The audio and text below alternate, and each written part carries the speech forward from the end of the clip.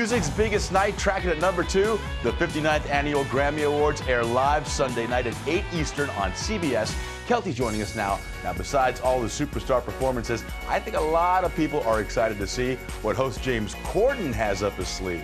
Ooh, I know I am Louie, and James is all about the music, including the Battle of the Divas, Adele and Beyonce. Let me photograph you in What do you think's gonna trump? Adele being Adele or Beyonce having twins on stage? I don't think she'll have twins on stage. I think she's quite a way away from that.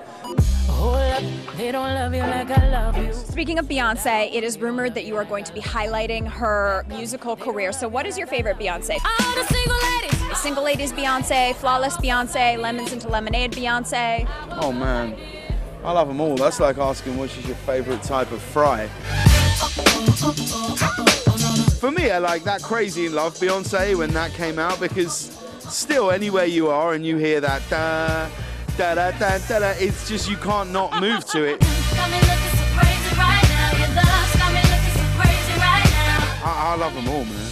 One, two, three.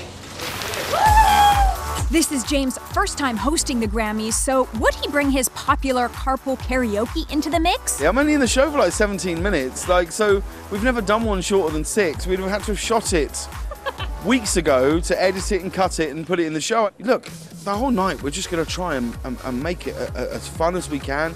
If I can bring half the excitement that I feel to being there to that room to people at home, then it's going to be great. But I mean, you know, there's a real strong chance we'll mess this whole thing up.